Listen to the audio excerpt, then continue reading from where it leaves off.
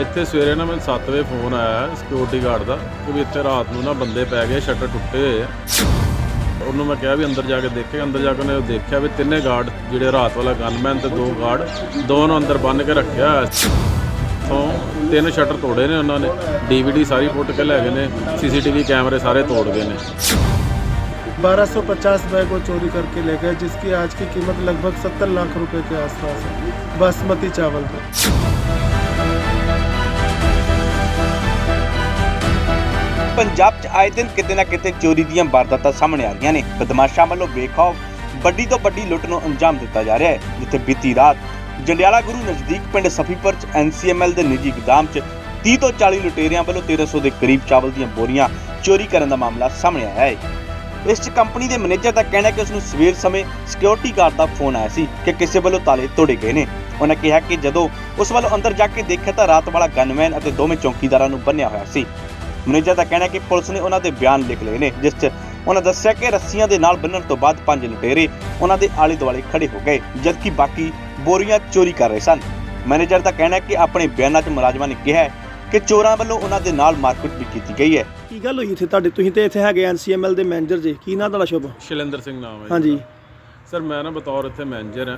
ਇੱਥੇ ਸਵੇਰੇ ਨਾ ਮੈਨੂੰ 7 ਵਜੇ ਫੋਨ ਆਇਆ ਸਿਕਿਉਰਿਟੀ ਗਾਰਡ ਦਾ ਕਿ ਵੀ ਇੱਥੇ ਰਾਤ ਨੂੰ ਨਾ ਬੰਦੇ ਪੈ ਗਏ ਸ਼ਟਰ ਟੁੱਟੇ ਹੋਏ ਆ।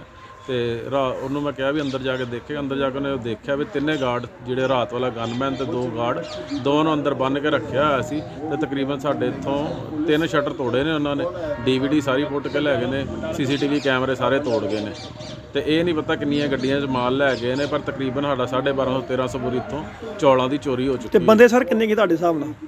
ਬੰਦੇ ਸਰ ਅੰਦਾਜ਼ਨ ਅਸੀਂ ਕਹਿ ਸਕਦੇ ਹਾਂ ਦੇਖੋ ਜੀ ਜੇਕਰ ਮਤਲਬ 1200 ਤੋੜਾ ਲੈ ਕੇ ਗਏ ਨੇ ਤੇ ਅੰਦਾਜ਼ਨ ਘੱਟੋ ਘੱਟ 70 80 ਬੰਦੇ ਲੱਗ ਸਕਦੇ ਵੀ ਹੋ ਸਕਦੇ ਸੀ ਜਿਹੜੀ ਤੁਹਾਨੂੰ ਜਾਣਕਾਰੀ ਮਿਲੀ ਉਹਨਾਂ ਕੋਲ ਹਥਿਆਰ ਵੀ ਹੈਗੇ ਸੀ? ਹਾਂਜੀ ਬਿਲਕੁਲ ਸਰ। ਉਹ ਜੋ ਸਾਨੂੰ ਗਾਰਡ ਦੱਸ ਰਹੇ ਨੇ ਕਿ ਉਹਨਾਂ ਨੂੰ ਗਨ ਪੁਆਇੰਟ ਦੇ ਉੱਪਰ ਰੱਖ ਕੇ ਤੇ ਅੰਦਰ ਬੰਨਿਆ ਗਿਆ ਤੇ ਪੰਜ ਬੰਦੇ ਉਹਨਾਂ ਦੇ ਆਲੇ ਦੁਆਲੇ ਖਲੋਤੇ ਰਹੇ ਤੇ ਬਾਕੀ ਚੋਰੀ ਕਰਦੇ ਰਹੇ। ਮਾਰਕੁੱਟ ਵੀ ਕੀਤੀ ਤੁਹਾਡੇ ਗਨਮੈਨ ਹਾਂਜੀ ਬਿਲਕੁਲ ਜੀ ਮਾਰਕੁੱਟ ਕੀਤੀ। ਉਹਨਾਂ ਸਿਰ 'ਚ ਵੀ ਸੱਟ ਵੱਜੀ ਹੈ ਤੇ ਉਹਨਾਂ ਦੇ ਲੱਤਾਂ ਬਾਹਾਂ ਤੇ ਵੀ ਉਹਨਾਂ ਨੂੰ ਕੁੱਟਿਆ ਗਿਆ ਜੀ। ਠੀਕ ਹੈ ਜੀ ਪੁਲਿਸ ਤੁਹਾਡੀ ਮੌਕਾ ਵੇਖ ਗਈ ਹੈ? ਹਾਂਜੀ ਪੁਲਿਸ ਸਾਡਾ ਮੌਕਾ ਵੇਖੀ ਪੁਲਿਸ ਸਾਡਾ ਸਾਥ ਦੇ ਰਹੀ ਹੈ। ਠੀਕ ਹੈ। ਤੇ ਪੁਲਿਸ ਨੂੰ ਅਸੀਂ ਬੇਨਤੀ ਕੀਤੀ ਹੈ ਜੋ ਬੰਦੀ ਕਾਰਵਾਈ ਕੀਤੀ ਜਾਵੇ ਤੇ ਇਹਨਾਂ ਚੋਰਾਂ ਨੂੰ ਨੱਥ ਪਾਈ ਜਾਵੇ ਜਿਹੜੇ ਤਰੀਕੇ ਨਾਲ ਇਹਨਾਂ ਇਲਾਕਿਆਂ ਦੇ ਵਿੱਚ ਚੋਰੀਆਂ ਹੋ ਰਹੀਆਂ ਨੁਕਸਾਨ ਹੋ ਰਹੇ ਨੇ ਇਹ ਬਹੁਤ ਜ਼ਿਆਦਾ ਜੀ ਮੰਦਭਾਗੀ ਘਟਨਾ ਹੈ ਜੀ ਇਸ ਚੋਰੀ ਸੰਬੰਧੀ ਮਾਲਕ ਦਾ ਕਹਿਣਾ ਹੈ ਕਿ ਉਹਨਾਂ ਦੀ ਕੰਪਨੀ ਦਾ ਮਾਲ ਇਸ ਗੋਦਾਮ 'ਚ ਪਿਆ ਸੀ ਉਹਨਾਂ ਕਿਹਾ ਕਿ ਰਾਤ 1 ਵਜੇ ਦੇ ਕਰੀਬ 30 ਤੋਂ 40 ਲੁਟੇਰਿਆਂ ਵੱਲੋਂ ਚਾਵਲ ਦੀਆਂ ਬੋਰੀਆਂ ਚੋਰੀ ਕਰ ਲਈਆਂ ਨੇ ਉਹਨਾਂ ਦੱਸਿਆ ਕਿ ਚੋਰਾਂ ਵੱਲੋਂ ਸਾਰੇ ਸੀਸੀਟੀਵੀ ਕੈਮਰੇ ਵੀ ਤੋੜ ਦਿੱਤੇ ਗਏ ਨੇ ਅਤੇ ਨਾਲ ਹੀ ਡੀਵੀਆਰ ਵੀ ਆਪਣੇ ਨਾਲ ਲੈ ਗਏ ਨੇ ਉਹਨਾਂ ਕਿਹਾ ਕਿ ਇਸ ਚੋਰੀ ਦੇ ਨਾਲ ਉਹਨਾਂ ਦਾ ਕਰੀਬ 70 ਲੱਖ ਦਾ ਨੁਕਸਾਨ ਹੋਇਆ ਹੈ जहाँ पर क्या बात होगी सर कितने का चोरी हो गया और किस पे आपको आपको शक है ये ना हमारा एल का गोडाउन है और इस गोडाउन पे सफलटेक फ़ूड, जो हमारी कंपनी है, हमारी कंपनी का माल लगा हुआ था।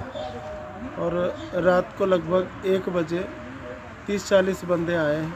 और यहाँ पे हमारा जो सिक्योरिटी गार्ड था, गनमैन था, सबको इन्होंने अंदर ले जाके गोडाउन का ताला तोड़ा, तोड़ के फिर अंदर बैठा दिया और उनको बाँध दिया। इसके बाद 1250 बैग वो चोरी करके ले गए, जिसकी आज की कीमत लगभग 70 लाख रुपए के आसपास है। बासमती चावल पे आपने सर पुलिस को कंप्लेंट किया? हाँ पुलिस पुलिस को मैंने कंप्लेंट किया सात बजे जब मुझे पता चला कि गोडाउन पे गोडाउन वाला गार्ड फ़ोन नहीं उठा रहा था। फिर मैंने दूसरा दिन वाला गोडाउन गार्ड भेजा उसने बताया। फिर इसके बाद हमने पुलिस कंप्लेंट भी की है। पुलिस आई है चेक करके वेरिफिकेशन करके गई है और जो नाइट वाला हमारा स्टाफ था उससे भी बयान लेके और थाने लेके सर कोई वीडियो रिकॉर्डिंग है इसकी आपकी सीसीटीवी में? सीसीटीवी सारा उन्होंने तोड़ दिया। जितनी भी थी और साथ में जो?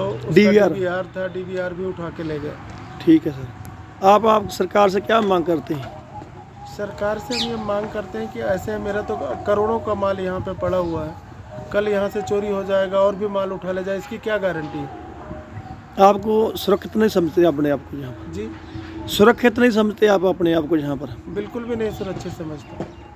ਜ਼ਿਕਰਯੋਗ ਹੈ ਕਿ ਲੁਟੇਰਿਆਂ ਵੱਲੋਂ ਬਹੁਤ ਵੱਡੀ ਚੋਰੀ ਦੀ ਘਟਨਾ ਨੂੰ ਅੰਜਾਮ ਦਿੱਤਾ ਗਿਆ ਹੈ, ਉਧਰ ਬੇਸ਼ੱਕ ਪੁਲਿਸ ਨੇ ਕੈਮਰੇ ਅੱਗੇ ਕੁਝ ਨਹੀਂ ਬੋਲਿਆ, ਪਰ ਐਸਐਚਓ ਦਾ ਕਹਿਣਾ ਹੈ ਕਿ ਉਹਨਾਂ ਵੱਲੋਂ ਆਸ-ਪਾਸ ਦੇ ਸੀਸੀਟੀਵੀ ਖੰਗਾਲੇ ਜਾ ਰਹੇ ਨੇ ਤੇ ਜਲਦ ਮੁਲਜ਼ਮ ਕਾਬੂ ਕਰ ਲਏ ਜਾਣਗੇ। ਹੁਣ ਦੇਖਣਾ ਹੋਵੇਗਾ ਕਿ ਕਦੋਂ ਤੱਕ ਪੁਲਿਸ ਇਸ ਵਾਰਦਾਤ ਨੂੰ ਹੱਲ ਕਰਦੀ ਹੈ ਅੰਮ੍ਰਿਤਸਰ ਤੋਂ ਹਰਜੀਤ ਗਰੇਵਾਲ, ਪੰਜਾਬੀ ਲੋਕ ਚੈਨਲ।